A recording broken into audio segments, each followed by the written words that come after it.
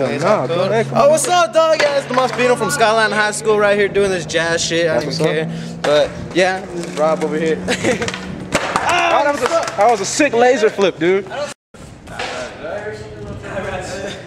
read it, I read it like, I'm,